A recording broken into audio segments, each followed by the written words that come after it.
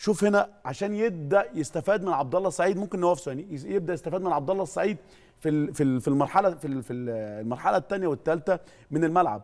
الف- ال- ال- التلت الثاني والتلت الثالث. فعشان كده التأثير بتاع عبد الله السعيد بدأ يبان أكتر ما هو كان موجود في في ال defender جنب آه، دونجا. هنشوف هنا أحمد فتوح واقف فين؟ مش واقف في مكانه ك ك ك back left.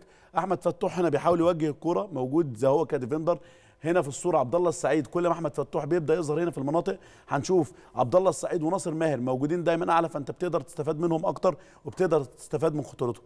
نفس القصة أحمد فتوح لحد دلوقتي ما لمس الكورة بدأ يلمس الكورة هنا وخرج ال pass في الآخر اتقطعت دي نفس الصورة دي ما هتلاقيها موجودة اتكررت مع جوميز كل ما أحمد فتوح كان متاح ليه. نفس القصة. شوف فتوح داخل فين؟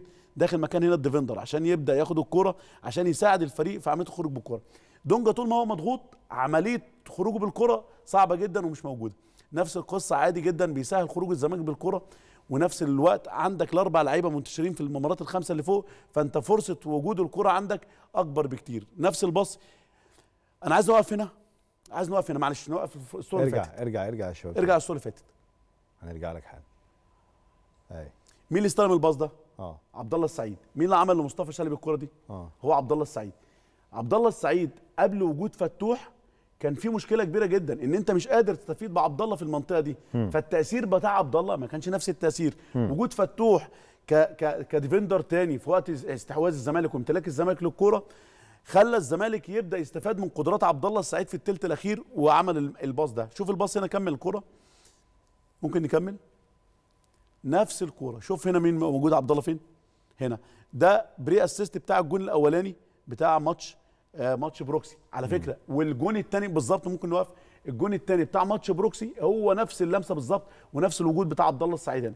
فبالتالي وجود لعيب عنده quality على الكورة والتكنيك بتاعه بتاع ال pass نفسه.